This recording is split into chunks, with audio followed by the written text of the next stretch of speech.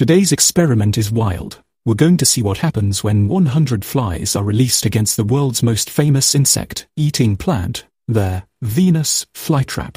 Will the Venus flytrap catch them all, or will the swarm of flies overwhelm this tiny predator? Let's find out in 100 Flies vs. Venus flytrap. The Venus flytrap, Dionaea muscipula, is one of the most legendary carnivorous plants on Earth. It may look small and harmless, but it is one of nature's most efficient insect hunters. Its leaves are split into two halves. They look exactly like a pair of tiny jaws.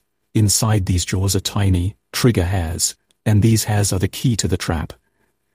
Here's how it works. If a bug touches one hair, nothing happens. But if it touches two hairs within d20 seconds, the plant instantly knows this is a living prey, and then, snap, the trap closes in 0, 1 seconds, faster than a blink.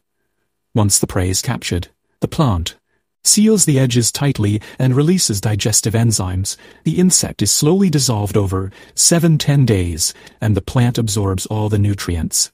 Venus flytrap is not just a plant, it is a silent predator waiting patiently for the perfect moment.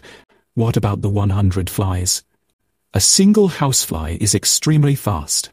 It beats its wings 200-250 times per second and can change direction instantly. Now imagine 100 flies together, buzzing, colliding, moving in chaos. That is a flying storm. So now we have one calm, patient hunter versus a, a swarm of hyper, active insects. This is going to be interesting. The scene opens. Inside a large transparent box sits a healthy Venus flytrap with 12, 15 active traps. A container with 100 live flies is gently opened. Immediately the box fills with buzzing. A loud buzz as the flies spread everywhere. The Venus flytrap stays perfectly still. Its traps remain open. Its inner red color glowing waiting for movement. Flies land on stems, leaves, and sometimes even inside the traps, touching the trigger hairs, but one touch is not enough. The plant waits. A fly accidentally touches a second hair, and suddenly, snap. First catch. The jaws close perfectly around the fly. During the first 10 minutes, the Venus flytrap manages to close two or three traps. Why so few? Because 1. Flies are extremely fast too. One trap can only close a few times in its life 3. After closing once, the trap stays shut for days 4.